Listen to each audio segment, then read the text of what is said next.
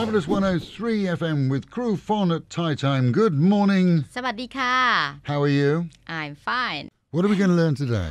learn more languages Okay.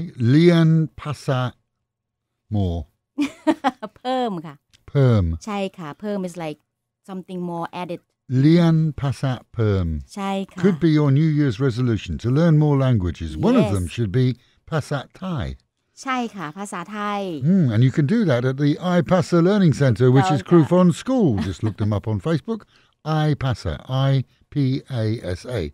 So to learn a new language is Rian เรียนภาษา Rian Pasa เพิ่ม Perm. ใช่ค่ะ That's a good one.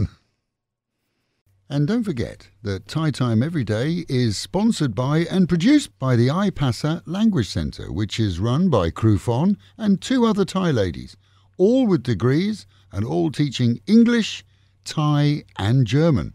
So if you or your family want to catch up and improve, especially right now, online, visit our website alwayspatio.com and look for the link.